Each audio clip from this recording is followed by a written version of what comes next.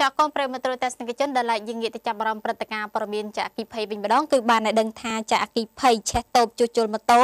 នៅក្នុងឃុំស្វាយសស្រុកវ៉ារិនតែមិនបណ្ដាលឲ្យគ្រោះថ្នាក់ដល់អាយុជីវិតមនុស្សឡើយ នៅពេលលាម៉ោង8ព្រឹកនៅថ្ងៃទី21ខែមិថុនាឆ្នាំ2017នេះមានករណីអគិភ័យមួយបានកើតឡើងនៅលើតូបជួសជុលម៉ូតូមួយកន្លែងដែលស្ថិតនៅចំណុចចិត្តផ្លូវបំបែកទៅគោកដងនៅក្នុងភូមិឫស្សីធំនៅក្នុងឃុំលវាសស្រុកបារិនខេត្តសៀមរាបបើតាមការបញ្ជាក់ឲ្យដឹងពីលោកវរៈសេនីតូនប់សារៈចាអធិការនគរបាលស្រុកបារិនក៏បានឲ្យដឹងថាករណីនេះគឺបានកើតឡើងដោយសារតែឈ្មោះណុកភេទប្រុសត្រូវជាកូនចាប្រសារបស់ឈ្មោះលឹកឈុល គឺមានទីលំនៅនៅក្នុងភូមិឫស្សីធំឃុំស្វាយស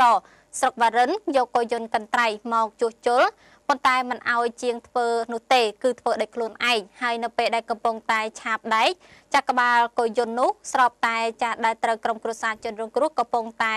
វល់សាំងច្រកដាក់ដបសម្រាប់លក់ទៅបណ្ដាលឲ្យឆាប់ឆេះតូបតែម្ដងទៅ ចាស់ជនរងគ្រោះដែលជាម្ចាស់តូបគឺមានឈ្មោះថាចាណាន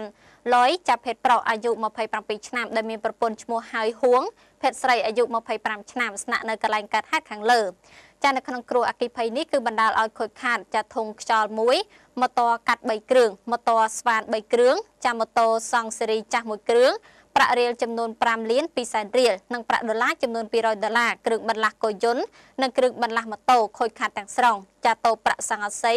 ទំហំ4គុណនឹង6និងក្បាលកុយយន្តកន្ត្រៃរបស់ជនរងគ្រោះអ្នកបង្កហេតុផងដែរ